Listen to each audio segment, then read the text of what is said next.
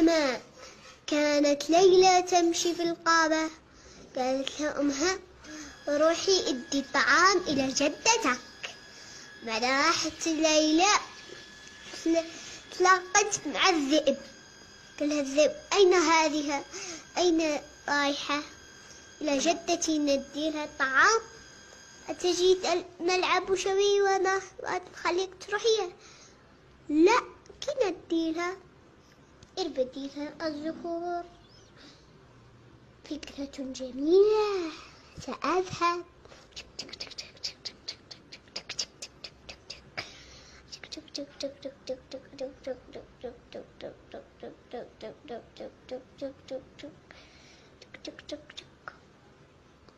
راح الذئب بسرعة إلى بيت الليلة.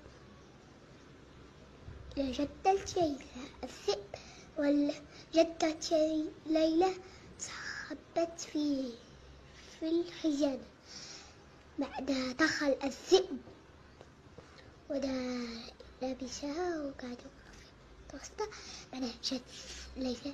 قالت له ليلى. جدتي بيدي فك طويل بقى شم ريحتك الجميل. زينة وأبنيك أسمع صوتك الزين. وعينيك بما أشوفك أنت الزينة.